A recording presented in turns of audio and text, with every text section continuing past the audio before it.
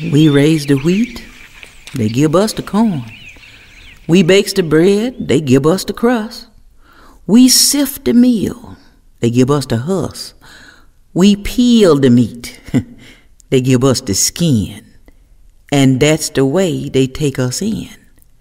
We skim the pot, they give us the liquor. And they say that's good enough for, uh,